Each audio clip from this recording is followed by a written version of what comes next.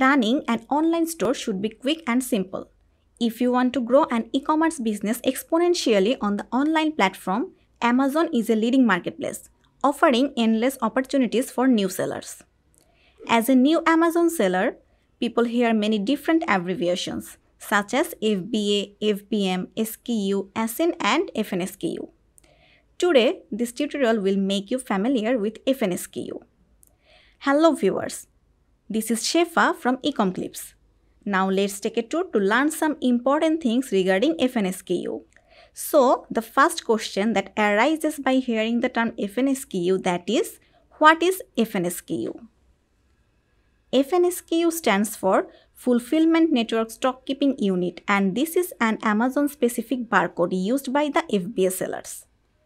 Amazon uses the FNSKU to identify seller's product and connect them to your Amazon seller account. The FNSKU number is used by all Amazon Fulfillment Center to identify the products. It is exclusive for the products that are fulfilled by Amazon FBA.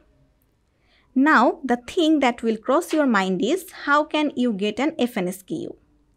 So, keep watching this tutorial to learn more about how to create the FNSKU barcode. If you are an Amazon seller with FBA inventory and Amazon barcode enabled, each unit will have its own FNSKU. Just hit a question on your mind by hearing about Amazon barcode enabled, right?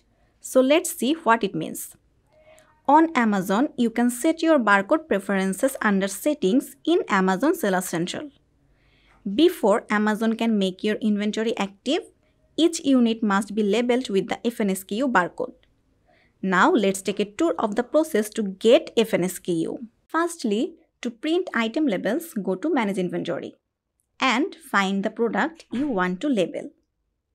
On the right hand side, find the Edit button. Click the down arrow next to it and choose Print Item Labels.